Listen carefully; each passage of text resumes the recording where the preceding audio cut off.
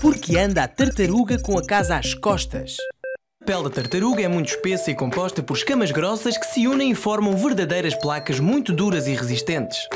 Esta resistente carapaça constitui um refúgio em caso de perigo, pois a tartaruga consegue recolher a cabeça, as patas e a cauda de forma a ficar completamente protegida dentro da sua armadura.